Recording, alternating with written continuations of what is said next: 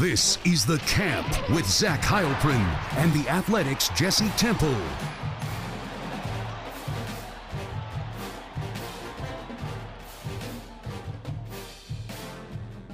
Yes, welcome into the camp.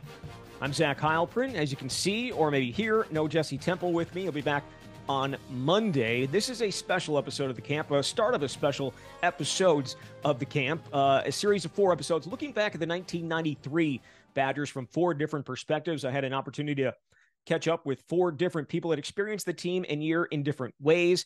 One media member, one member of the football administration, uh, one player, and then a pretty famous coach. Uh, had an opportunity to chat with them here over the last week or so. Uh, this is the 30th anniversary uh, of that team, a team that among people of a certain age, and I am of that certain age, is the most beloved in program history, not just for what they did that year, but what they've meant to the uh, last 30 years of Wisconsin football. I mean, I lived through it again. It was just 12. So I had a little, probably a little bit different experience than uh, maybe those uh, in college and, and older as they got to experience all the things that go into Wisconsin football that maybe a 12 year old does not. I think you understand what I'm saying. Um, but the season was remarkable. The Rose Bowl remains my favorite game I've ever been at. So, with all that said, let's get to today's interview. Again, this is the first of four episodes uh, that we're going to be releasing every other day over the next week as we close in on the start of fall camp for the Badgers. Up first, a well known face and voice in Madison. It is former Channel 27 and former Channel 3 sports director Jay Wilson. Hope you enjoy our conversation.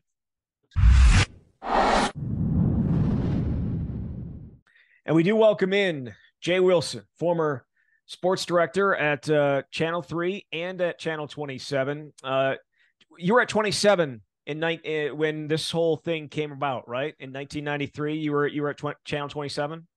That's correct. In fact, the, the the Rose Bowl that year, the 94 Rose Bowl was on Channel 27. So it was to this day, I think it's the most watched program in Madison television history because we did some research at the time.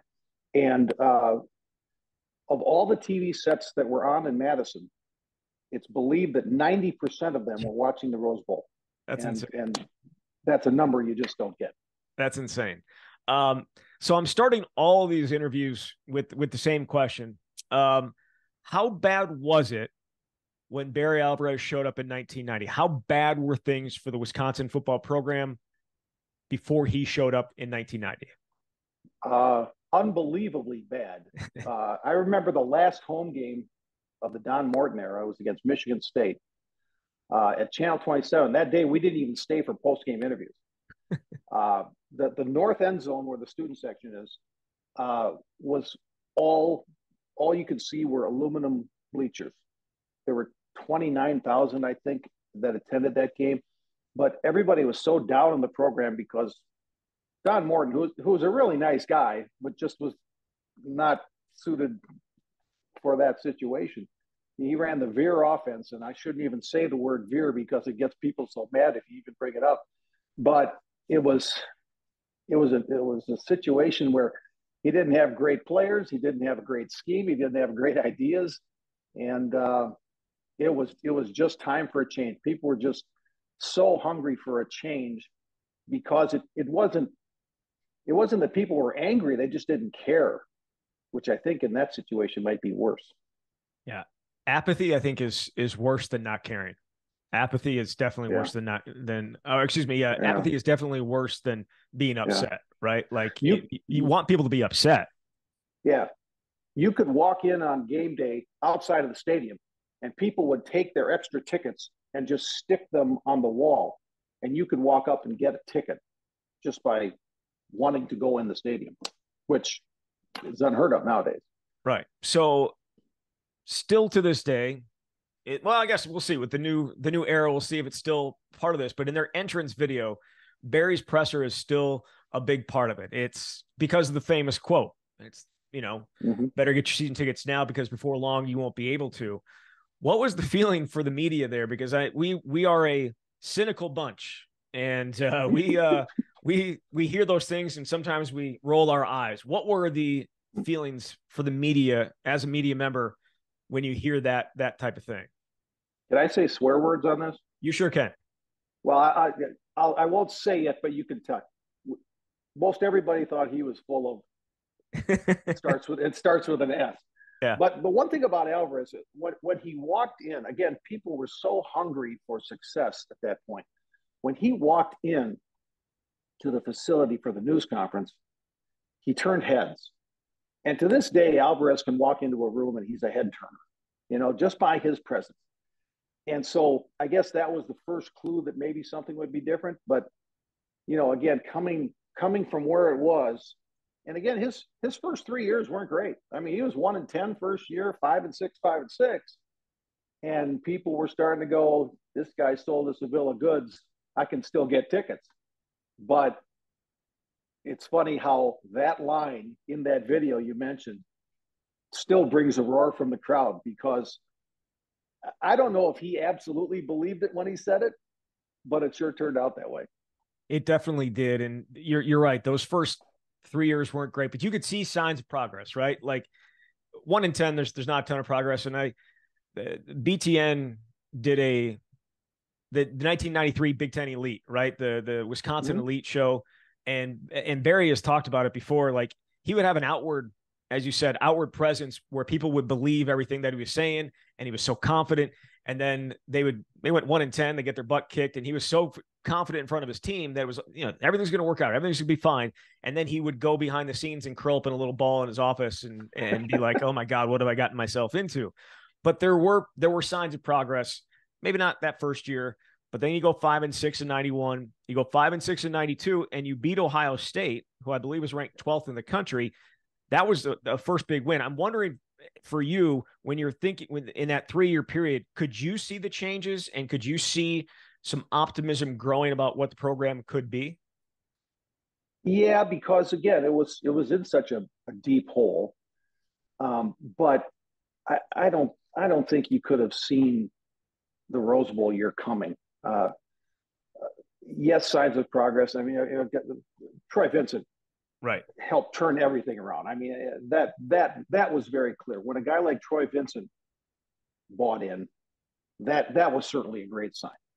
Um, and again, the, the, Rose Bowl team wasn't star-studded. I don't think you can say. You know, a couple of guys got drafted uh, that year off that team, but but you look up and down their roster and you you go, oh, that's a nice player. He's a good player. But it was it was just a group of players that went like that. And um, yeah, yeah, you could see that it was improving, but to get over that big hump, I don't, I, you know, I, I certainly didn't see that. Right. So end of '92, they're five and five. They're going into Northwestern. They beat mm-hmm. Northwestern. They're going to a bowl game for the first time, I believe, since 1984. It would be a huge thing, right? And they driving down the field potentially to kick a field goal to win the game or to tie the game. I think it was to win the game, and mm-hmm. Jason Burns fumbles. Yep, I remember listening. So my point of view for this entire thing is as a 12 year old, um, but it is also a view that is very. I remember everything, and I remember sitting in a, in a, a bedroom at my house downstairs listening to it on the radio. It wasn't on TV, so I was listening to the radio, and just I think I started crying after that. Like they're going to a bowl game and then they're not going to bowl game. Do you think what happened the year before? They were so close in 92 to get to that bowl game. It kind of served as a little bit of motivation in that offseason. Yeah, I mean, it, it, didn't hurt. I know that. Um, the difference between your upbringing and my upbringing, I, I didn't listen to games after halftime because they were getting killed so bad. So it's good that you listened to the end of the game but um, that that stung. Boy, there is no question that stung. And I don't know that they verbalized it in, in, in our interactions with the media that next year, but you can tell that that stuck, that that burned. And if they were ever in that type of situation again, they were just not going to let that happen. And I think that that says something about the makeup, the, the, the psychology of that team is that, you know, they remember the past. They felt, I think, that it was heading in the right direction, and and now this was their time to really head it in the right direction, and they managed to pull it off. So, I went back and was when I was doing some research for this because again, your your childhood is always just messed up. Like it doesn't, it, it's not how it actually was, right? so I had to go back and look it up. And you, you talk about expectations. and I think they were in one top 25 poll in the and going into the 1993 season. It was the Chicago Tribune, and, and everyone's like, "What the hell? How, why?" Um, mm-hmm. and mm-hmm. there were there were some uh, things in the paper, the Wisconsin State Journal, and, and, talking about potential bowl games where they could potentially go, and um, you know, they had Michigan, Penn State, Ohio State, Iowa, and Illinois all ranked ahead of Wisconsin just in terms of like where they could potentially go in the bowl. I've never seen bowl predictions like we see it now. You're predicting where they're mm-hmm. going to go, but like this was like, this is what's going to happen. Here's this, here's that. And uh, it, Wisconsin was a little bit of an afterthought going into that season, despite you know having built a little bit up. What were your expectations, if you remember, going into that season? Yeah, I, again, I, I I would agree with that observation. I, I thought they were a fringe bowl team that that could make a bowl. And again, making a bowl for Wisconsin at that point was was like, oh my gosh, let's let's close all the shops and take the rest of the day off, kind of stuff. But you know, again, fr- fringe bowl, and and there weren't as many bowls then as there were now, so there were fewer opportunities. Um, you you could, I mean, I, I thought they'd be a, a nice team, a competitive team, a fun team, but to to accomplish what they did, I that wasn't on my radar at all. Because again, I you know I'm dealing with the past when you know Billy Marek would run for 250 yards and they get beat 34 to seven, you know that kind of stuff. So it, it was just it was just unreal to think for for a kid growing up in Wisconsin that that was possible. So uh, the other aspect of it was like, what are some of the questions on this team going into the season? And you know, in retrospect, it's like Really? Because one of the biggest questions was quarterback. Uh, Darrell mm-hmm. Bevell was not an established player at that point. He was a, a sophomore, redshirt sophomore, like a 50 year old redshirt sophomore, but still a redshirt sophomore. Um, and the, the, there were some questions about like if they don't, if they have the quarterback, maybe something can be better than it was. And they go ahead and they open up the season going three and zero oh, um, mm-hmm. to to get the season started. And off, you know, it was. Well, it wasn't like there were any big teams, right? It was like it yeah. was uh, what was it? Uh, Iowa State and yeah. Nevada. The SMU. The SMU game. That yes. game at SMU was huge. Uh, they came from behind late, and it it would be was, interesting if they didn't win that game, which way the season would have turned. Because instead of three and zero, oh, you're two and one. you know, but but but they managed to pull it off, and I think that really that really helped them the rest of the year. Yeah. So that's another game I listened to on the radio, and like at oh. halftime, they were down in, in, at halftime in that yeah. game. They were down, and it was a uh, like all the promise, all the expectations. It's like, is this really going to happen to them, or, or are they legit? And I think that they showed themselves that they were legit in coming back, and they got a late interception in that game to to seal it. I think it was it might have been Scott Nelson that got the interception, and you sealed it. And you're two and zero. Oh. You go and beat Iowa State the following week. You're three and zero oh heading into Big Ten play.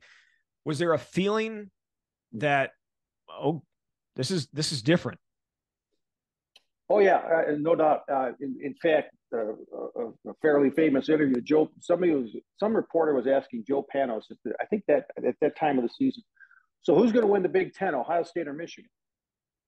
And Panos looked at the guy and said, why not Wisconsin? And I think many people in that locker room, you know, was, was one of the real leaders of that group. And he's going, why can't we do it? And I think other guys looked around the locker room after, especially after that SMU win, and went, "Yeah, why not?" And you know, again, it all came together, the stars aligned, and then that sort of thing. But, but uh, the confidence just grew. You know, after that three and zero oh start, the confidence just grew and and and never really left them. Was there a buildup, media wise too? Because like nowadays, when Wisconsin is good, all of a sudden we see the Milwaukee people coming in and we all we see the the mat the uh, Green Bay people flowing mm-hmm. in. Like you don't usually like when they're in, in 2018 where they were really really highly ranked going in, then they were not very good. People stop showing up. Like uh, Madison media is there all the time, but mm-hmm.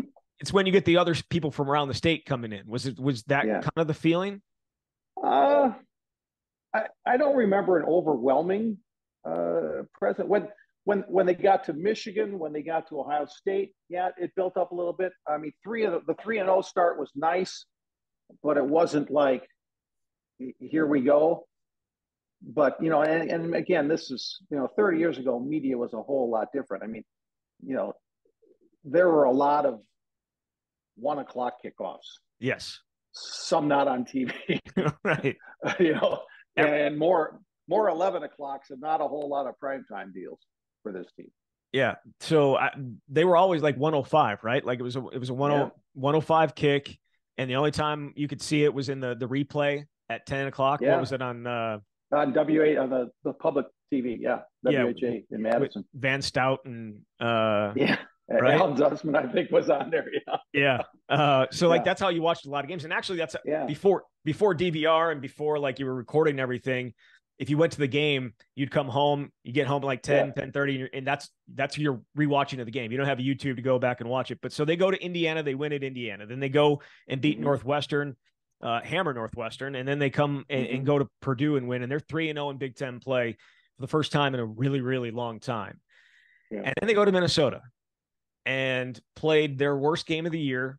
Darrell Bevell yep. throws for, I believe, is it's still a school record, threw for over 400 yards also threw five interceptions. Five interceptions. Yeah, that was the frustrating part. Is that you know because Bevell Bevell protected the ball. I mean that that's one thing he would do. You know, it, game manager was a term is a term that's thrown around a lot now.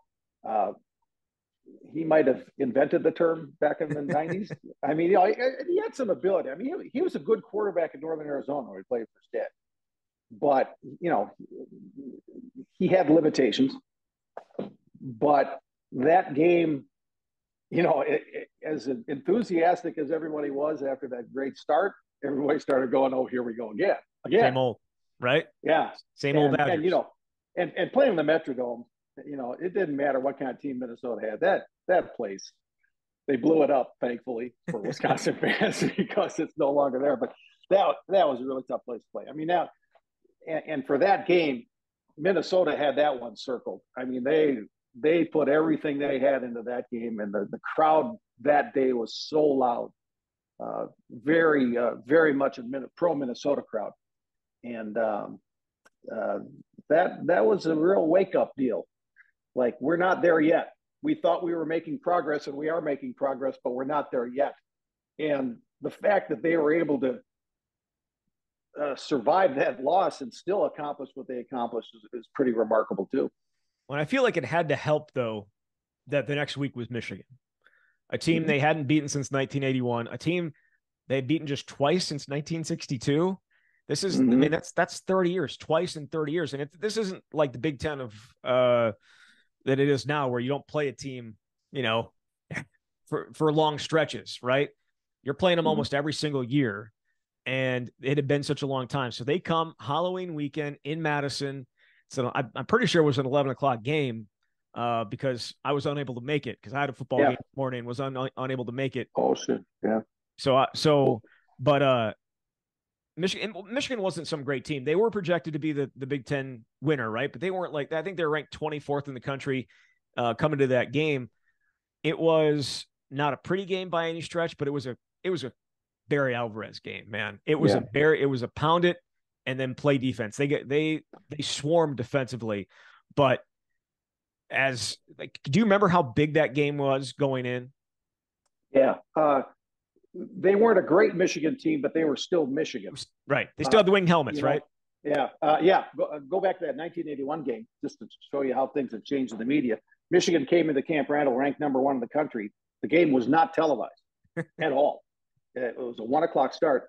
So our local, I work for Channel 27, a local affiliate here.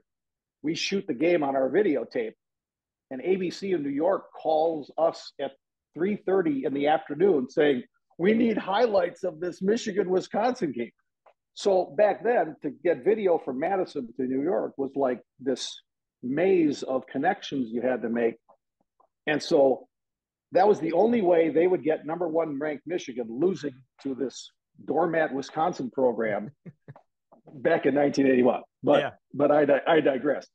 But um, beating Michigan was still that was such a huge mountain there were so many t- games. If you look at the scores through the years when Michigan played Wisconsin before this, or be, between the 81 game and that, I mean, there were some real blowouts. I mean, I remember being a local reporter trying to come up with a storyline when you lose 56 to nothing. and and man, it was hard. It was really hard because we we traveled to the games in Ann Arbor and we we knew what was going to happen before it happened. But this but this one, especially after what happened in Minnesota, this is another kind of kind of came out of the blue. But again, it was a team that had had great confidence in itself, and despite the disappointment of Minnesota, they managed to do it. Who were the leaders on that team? Who were the guys that you went to when you needed a quote or you wanted to, you know, um, mm-hmm. hear how the how the locker room was feeling? Who were some of those guys? Uh, Panos. I think Panos was the first guy. Um, Brent Moss wasn't wasn't a great interview. So, you know, and, and Bevell was good, but he had a little Russell Wilson in him where he wasn't going to give you a whole lot other than, you know, line 45, right. verse six, you know, that kind of stuff. But, you know, I mean, they were all good fellows. They were, they were good to work with. And, and looking at the roster, uh, uh, you know, the linemen were pretty good. Linemen are always underrated interviews where they they'll, they'll give you some decent stuff. Defensively, um, Eric Unverzagt was pretty pretty talkative. Kenny Gales was the, the, mouthpiece. I mean, he that dude, he liked cameras all the time. I, and I don't know if he was trying to get attention away from everybody else just to, you know, so they could do their deal. But uh, Kenny Gales was a confident young fellow, and uh, uh, you know, in that in that Rose Bowl, he he had J.J. Stokes one on one a lot of times and Stokes only caught 14 passes. Only, but but you know, it, it was a team of personalities, but not personalities like we think of today. They weren't on TikTok. They weren't they weren't doing Instagram things. They weren't NIL guys. They were just a bunch of hardworking guys who, you know, you asked them a question, they gave you an answer, and it, it wasn't controversial. It wasn't stop the presses they were they were all decent fellows, but again, it was a, it was a group that just fit. Their personalities fit so well that you know Panos would kick guys in the butt, but they'd respond. You know that that kind of thing. So there were a lot of there were a lot of guys like that. So they beat Michigan thirteen to ten, and this goes to the talk about some of the good guys. The crowd the stampede in the student section after the Michigan game. I mean, you got some uh, pulseless non-breathers, and you have was it was it Michael Brin? Mm-hmm. You know, saving save saving lives, saving lives after this. Um, did what happened after the game kind of uh just overtake the game itself? Was it would you or how did how did that play out yeah. media wise? Yeah, uh, well, I, just to give you my perspective, I, I was shooting highlights on the field. Game ends, crowd rushes the field.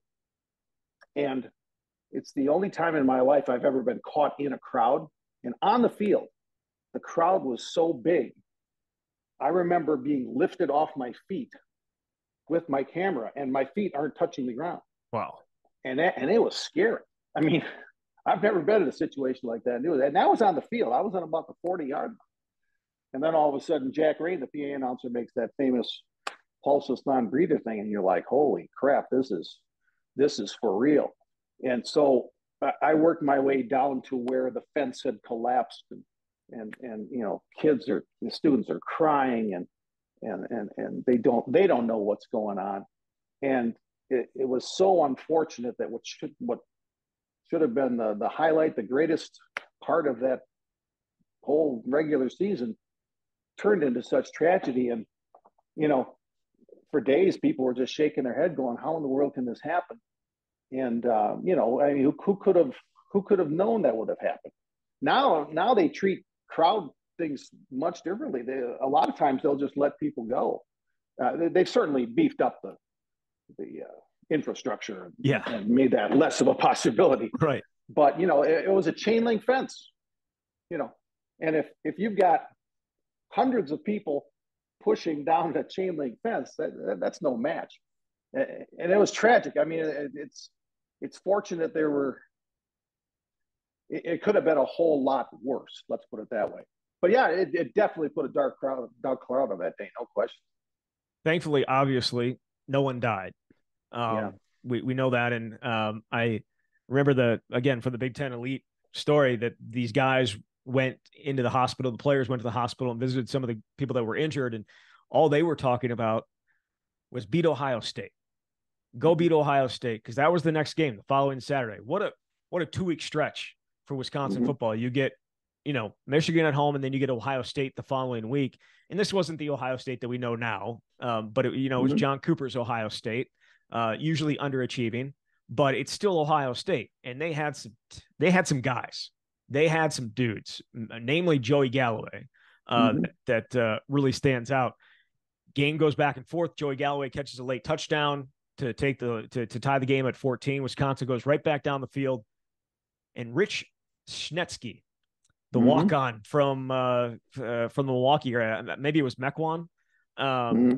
Either way, he gets out there. It's a field goal to win it, to essentially they would they they would have their way with it, right? They they win that game and they are in their own control of their own destiny. They go they go win their next couple games and they're in the Rose Bowl, and it gets blocked. And Ohio State's going crazy, like they won the game, and Wisconsin's like so close, so close. What what was the feeling like after that one among the players? You think? It, it, it was awfully deflating because you win that boy, you're you're in the penthouse. I, I remember the snow was coming down. It was, it was a beautiful scene. I mean, it was amazing. Were coming down, and it was fantastic. Right, because they used to have to bring in the so they so now they have enough lights to actually be able to light up the stadium at night. Right. Back then they did not. Back then no. they had to ABC had to bring in these portable lights, and they would be on the um, east side of the stadium, across from the press box. Now where there are obviously suites, but before that it would be like two big lights hanging over. I I remember it vividly, vividly, and yeah, the snow was coming down just just towards the end of that game. Yeah, uh, yeah, field goal kicking was not a strength of that uh, 93-94 club, that's for sure. And uh, don't ask Coach Alvarez what he thinks about field goal kickers in general. By the way, right? he'll give you he'll give you a colorful answer on that one most of the time. But um, yeah, I mean, in this season of, of, of, remarkable ups and downs, you, just beat Michigan, and then you had the crowd crowd crush you're on the precipice of beating Ohio State. I mean, uh, you know, look at the records of Wisconsin versus Ohio State. As you looked at Wisconsin versus Michigan earlier, and the, the scores were pretty similar. They were a lot of times 56 nothing. Yeah. So, so to get that close, but again, do the math. The tie doesn't kill you. Right. And and that was that was something that after the disappointment of the field goal, people went, "Hey, the math still could work here," and it did. And it did because the following week, Wisconsin goes to Illinois, takes care of the uh, the Illini, and then in uh, in Michigan, the Wolverines beat Ohio State, and all of a sudden it yeah. puts it all of a sudden it puts Wisconsin back in control. But it's control, and they have to go to Tokyo to yeah. to finish this thing off two weeks later. Uh, the game was December fourth. The game was only set up that way, or it was in. It was supposed to be a home game. Can you imagine what that would have been like Oh my at, gosh. At Camp Randall, no it would have been amazing. It would have been just completely at a different level. Instead, it's in Tokyo because it was going to serve as like an extra bowl game. Like it was going to serve as their bowl game because it wasn't they never got to go to bowls. So it was going to be it was kind of serving as their bowl game. But they go to Michigan mm-hmm. State, they just need to win it. Did you go to Tokyo? You know what? Uh, the, the, price the price was too high for uh, Channel 27 in Madison. The only Madison station that went was Channel 3, Van Stout, because they had the uh, the coaches show. Yeah. So and they, and they had to. Right. And they so, had to. And our people thought about it, but it's like, man, I mean, you know, that's back then it's probably five thousand dollars, and our guys our guys weren't real interested, and we went, you know, they could go to the Rose Bowl for the first time in a really long time, but uh, I, I don't think. Uh, well, finances are still a big part of uh, when you can travel in broadcasting. So yes. that, that, that part hasn't changed. But yeah, it was, it was a little disappointing we couldn't go. But, uh, you know, it was a late game, it was a late start. you, you wouldn't get a lot of bang for the buck out of the coverage, even though so many of those images are iconic with guys with roses in their mouths and that sort of thing. But you know, maybe next time in 600 years, right? It happens again.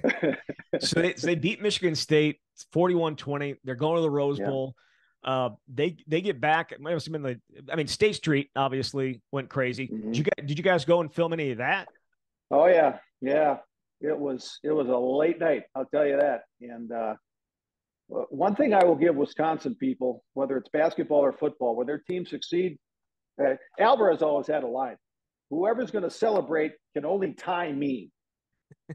and I and I think that was the case for a lot of people because, again, for all the ups and downs, to actually have it achieved, you know, 1963. I mean, most everybody on campus wasn't born then, and uh, to to have that accomplishment was was just fantastic. Yeah. So they go to the Rose Bowl. They are mm-hmm. they're out in Pasadena. Um, was there. We drove out as a family. We drove out. Mm-hmm. took like a week to get out there. Stopped a bunch of different places, but it felt like the entire state was there. It felt yep. like the entire state was there, and I and you know there was all these different things. Whether it was the the pep rally in the the plaza, whether it was the uh, the band playing on Santa Monica Pier, or all these different things that that happened there. It was a, a true, true experience that so many people got an opportunity to take part in, and did, as you mentioned, did not, you know, allow itself to to go un uh unparty. I guess uh, yeah. there was there was no. It was going to be a party, and it, it yeah. turned into a huge party that entire week. There were two things I never thought I'd see in my lifetime. Wisconsin going to the Rose Bowl and Wisconsin going to the Final Four in basketball, and both both of them actually happened. Uh, you know, like you say, there were so many Wisconsin people out there. It's too bad they all couldn't get tickets. Right. Remember the ticket issues? I mean, there were so many ticket issues and problems, and and uh, but but when the when game day came, I think it was 75-25 Wisconsin, probably. It was, it was electric. It, I yeah. mean, it, it was electric, and I, you know, when you when you I remember walking up that tunnel and when you looked out and I, and I, I can't imagine what it looked like for a player coming out of that tunnel, but walking up that tunnel and just seeing all that red, just chills. Yeah. The, uh, you know, I, I was in television, been in television for over 40 years and people will say, what's, what's the, the big moment? And the big moment for me is Wisconsin coming out of the tunnel mid afternoon in Southern California the mountains, you know, the sun is hitting the mountains in the background. It's a perfect day. Temperatures in the low 70s. It was just a marvelous afternoon. And here comes, here comes your Wisconsin Badgers coming out of the tunnel. It's like, this can't be true. This can't be happening. But it, but it did, and it was. I mean, even even earlier in the week, we had a chance to go in, inside the Rose Bowl uh, just to just to look at it, things like that, just to see Wisconsin's name in the end zone at the Rose Bowl was something and and I'm sure so many people have those kind of memories. Yeah, they, they, they and they're so they're great memories. The game itself was a little sloppy if you're if you're talking mm-hmm. UCLA. They turned the ball over six times. Wisconsin, mm-hmm. uh, Brent Moss ran him down, had 153 yards, couple of couple of touchdowns. Um, Darrell Bevell with the uh, the most amazing run in football history um, was was there. I assume were you on the field for the game shooting? I was, yeah, yeah. Back back then, you could get your whole family on the field, basically. I mean, you know, pre 9 11, credentials were handed out like candy, you know. Yeah. And so, uh, so yeah, so I was I was down the field, and uh, that's that's an experience I wish everybody could have too. Yeah. Uh, so Bevell, uh, Bevell scores. UCLA is coming down the field. It, it's looking like they. I mean, it's 21-16. They need a touchdown. JJ Stokes unstoppable. Kenny Gales tried his best, but it just wasn't happening. Mm-hmm. Um, mm-hmm. Wayne Cook, he was sick most of the week. If if you if uh, and I think that maybe gets forgotten at times. He wasn't a bad quarterback, mm-hmm. but he was sick mm-hmm. and just made the most boneheaded play you could probably ever make at a football game. Um, not knowing time and time and down, down in time, time and the situation. He runs. They have no timeouts. Clock ticks down to zero. You can hear the crowd two, one, mm-hmm. and then mm-hmm. all hell breaks loose with celebration. Your memories from that? Yeah. Well, uh, two things. Uh, during the week, we have a lot of interview sessions. And during the week, the Madison media, you know, we talk amongst ourselves, and we we all had the feeling that UCLA was kind of assuming they were going to win. They had they had this air about them that the, the, the city slickers from Hollywood were going to show these corn-fed guys from the Midwest a thing or two, and um, and I think Wisconsin had a confident. I I, I always had the sense that Wisconsin players felt that too, that that hard work, sticking to the plan, sticking to what we've done, how we've gone about it. We've been through so much. I I, I really think they had a psychological advantage, and I and I might be guessing here, but I think that last play kind of showed some of that, where UCLA is like, oh my gosh, oh my gosh, we might not win this, we might not win, and all of a sudden the clock's kicking down and there, and it, and it's all over, and so uh, so that was that was a part of it. The uh, my perspective on those final seconds, I wasn't on the field. We had a post game show to get ready for at Channel 27 because again, this is the most watched program in Madison television history on ABC. And we go right to our post game show after that. So I'm positioned outside of the Badger locker room and I'm hearing the crowd going five, four, three. I'm like, boy, it sure would be great to be out there and see all this. But, you know, you have responsibilities. And as the sports director, I had to host the post game show. So uh, the post game show starts and I, I don't have a monitor. I'm not able to see anything, but I'm I'm describing the highlights of the game that have been edited back in Madison, and the producer back in Madison is going next for the next highlight. So I have to time whatever I'm saying fairly close to when this highlight allegedly ends. Anyway, I, am getting through the highlights, and I'm getting near the end of the highlights, and it, and I'm going, boy, when these highlights are done, I've got nothing because you know we don't have phones that have stats, live stats on. So I'm thinking, oh my gosh, what am I going to talk about until we've got some interview that can run from the field to the truck? Well, fortunately, I had a pretty good relationship with Coach Alvarez that has developed, had developed through the years. And as I'm doing the last highlight, who comes walking down the tunnel right by our broadcast location but Coach Alvarez? And I turn around and I say, Coach Alvarez, we're live in Madison because – I don't know what Coach Alvarez would say if he doesn't know we're on live TV because he is this he is walking on air, no question. And he's like, "Hey, Jay, sure, glad to do it." And so I've got the first local live interview with Barry Alvarez after the Rose Bowl, despite missing all the celebration there. And so, you know, again, huge audience. Badgers win the Rose Bowl. I'm talking to Barry Alvarez. It, it worked out pretty well. Sounds like it did. It sounds like it yeah, did. Yeah. Um, I've actually I've actually seen that that clip a bunch of times. We had we did have a, a VCR copy of it, and it was the Channel Twenty Seven version of it. So okay, yeah. I, have seen that, and like because we we were out there, didn't get to see any of the post game stuff, right? Like it, yeah, we went home and.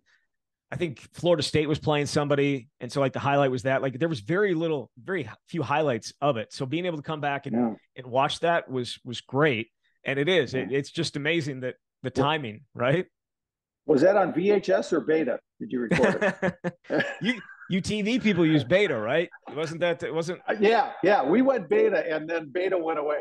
Yeah, every, so everyone VHS else people. yeah, everyone else went VCR and, and TV went beta. So yep. um, but no, it, just an incredible scene. The post game was incredible. Um, when you think about what that team ha- meant to this program, and it really the last 30 years, would you I don't know if you would agree with this. It's the golden age of Wisconsin football, right? Easily. Yep. Uh, that jump started it. What is the legacy, do you think, of that 93 team and the, the 94 Rose Bowl? Uh, unparalleled. Uh, Luke Fickell hasn't coached the game here, but he can draw on what the the 93 94 Rose Bowl team did. Because again, as, as, you mentioned, they weren't a ranked football team. They didn't, they weren't star studded. They, uh, they weren't the kind of team that went on the road and, and feared the, the opponent that was at home. They, they squeaked out a win at SMU that if it doesn't go their way, who knows what direction the season goes. They they suffer one of the more disappointing losses to Minnesota because based on what was in front of them, to go to Minnesota and lay an egg like that, man, that was that was just awful. Um, to to beat Michigan, then have the disappointment of Ohio State, and then you know, and, and again, this team tied for the Big Ten title, six one and one with Ohio State, but Ohio State was a more recent visitor. The rule was the more recent visitor to the Rose Bowl game, the other team went. So right. Wisconsin 63, Ohio State was more recent 86, 87, something in there. Um, that got Wisconsin there. So all these things had to come together. All these things had to come into place. Um, and it did. So if, if you're a Wisconsin player or coach current day, you can tell that story when when times are good, when times are bad. When times are good, times could go bad really quickly, but you can still get through it, and you can still achieve the highest uh, the highest uh, accomplishments a team can have. Just a remarkable year, a remarkable team, and a team that I think is probably as beloved as any in program history. Um, it's you know it's not the back to back Rose Bowls of '98, you know the the '98 and '99 teams, not the three straight though they didn't win a Rose Bowl in those three straight. Yeah. But it's it's it's not that. But it's the original. Like it's it's the original. They hadn't won a Rose Bowl before that. Yeah. It'd been how long since they had won a Big Ten title? Like, right. I I, I personally, I mean, it's it's a childhood memory. So yes, I, I'm kind of I may might be a little biased, but the most beloved team in in in uh, program history, and I don't think mm-hmm. it's particularly close or should be particularly close. Yeah. I think that's fair. Um, it's funny, uh, we, you know, again, I, I come from a we covered the team very closely standpoint. That first Rose Bowl, covering that first Rose Bowl was so energetic, so exciting, so thrilling. When they went to three in a row in the late 90s, by that third Rose Bowl, we hated the Rose Bowl. it was like, oh my gosh, we got to go through this again. And, you know, you think about being in that situation in the late 90s back in, in 94, it's like, no, no, I will always love the Rose Bowl but it was like, oh, here we go for another week and a half in Pasadena. so it's funny, it's funny how how things flip. But I, I think you're right. I, I, think the legacy of that team, and uh, I, I, still uh, do some broadcasting with Scott Nelson, and uh, he always tells the story of he was embarrassed to wear his letter jacket around town in the early '90s because of what Wisconsin football was, and um, he he speaks so warmly about the players he played with on that team. And again, not a not a cast of, of five star recruits, not a cast of high NFL draft picks, but a team that figured it out, that didn't let adversity turn everything negative, and and ended up winning the Rose Bowl. Unbelievable. Yeah, and, and so many of those guys showed up at the same time Barry did and grew along with went through those growing pains mm-hmm. to get to the other side and get to the the high end of uh of what was the high end of college football at that point. Going to the Rose Bowl, winning mm-hmm. the Rose Bowl, winning the Big Ten. That's as good as you could have ever hoped. I mean, yeah. they don't lose to Minnesota. Maybe they're maybe they're national champs. Yeah, yeah. Um, and, but, and and what one other thing about that that team and that that era, the, the assistant coaches that that were also there. I mean, you know, Bill Callahan coached the Oakland Raiders in the Super Bowl. Yeah. Uh, Jim Hueber and John Palermo, boy, they they swore like sailors. But I'll tell you what, they they knew football. Brad Childress, the offensive coordinator, was uh, head coach of the Minnesota Vikings. Uh, Dan McCarney went on to a, the defensive coordinator went on to a couple of other uh, uh, head coaching positions in college. And and you know, I, I don't know if that's a, a bit of an untold story, but, but they might not have had five star recruits, but I think they had a lot of five star assistant coaches as well. And Alvarez, Alvarez is the CEO. I mean, he just knew how to do it. I mean, you know, if I'm if I'm a referee and Alvarez is coming at me to challenge something, I usually go, "Yes, you're right, coach." yes, sir. Yes, sir. he he can be an intimidating presence. No it is. He can be. Hey Jay, I, I really appreciate your time. Um, it's it's such a fun year to look back on, and uh, I I love it from the media perspective because I'm in because now I have that perspective, and it's you, you certainly do look mm-hmm. at it differently. When they went to the Rose Bowl in 2019, that was the first one I got actually got the cover. Um, it it is a special place.